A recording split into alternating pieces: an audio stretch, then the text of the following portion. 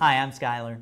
If Facebook is blocked on your network and you'd like to access it, say through an obscure Gmail hack or something like that, I recommend a couple different options. So, for example, if you can download a file and install it on your computer, I'd suggest Tor. It's the Tor browser. Just download the whole bundle and run it. Tor routes your network traffic through many, many servers, effectively anonymizing it and redirecting it so that it looks like your network traffic came from somewhere else than it actually did, which means that it'll go outside your network to a different server, back to the Facebook, and then send that information back to your computer. Uh, so that would be one really good way to access material which you otherwise can't.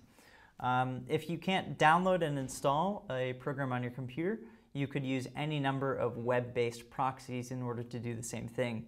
So, for example, ninjacloak.com. It's a free proxy. You can type in any URL here, and it will return the page to you as if the request had come from a different source.